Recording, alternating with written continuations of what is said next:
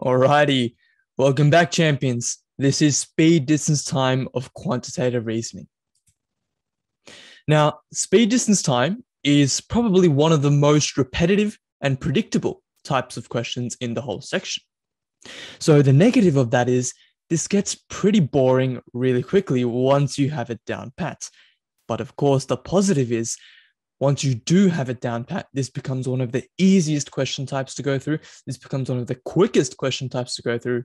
And this becomes a question that you will be very, very happy to see in your actual UCATs the only thing you really need is the speed distance time triangle. This is something you could write down, say on your piece of paper or whiteboard at the beginning of every single QR section that you do, just to remind yourself in the situation that a speed distance time question does come up of what you need to approach it. And to be honest, this speed distance time triangle is literally all you need. Seriously, because if you can use this effectively, then the rest of speed distance time becomes a piece of cake. The only uh, thing that's stopping us from these speed distance time questions becomes not um, not not knowing what to do, but rather going through that interpretation phase. But that's exactly what we'll be doing today, going through that interpretation phase together. So without further ado, I present to you the speed distance time triangle.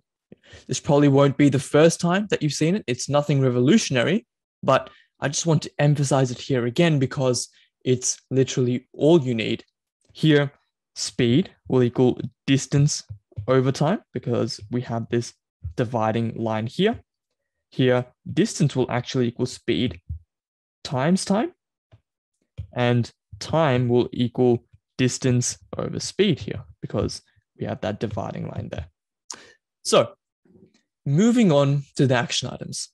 I would really, really highly suggest you get comfortable with using the speed distance time triangle. Okay.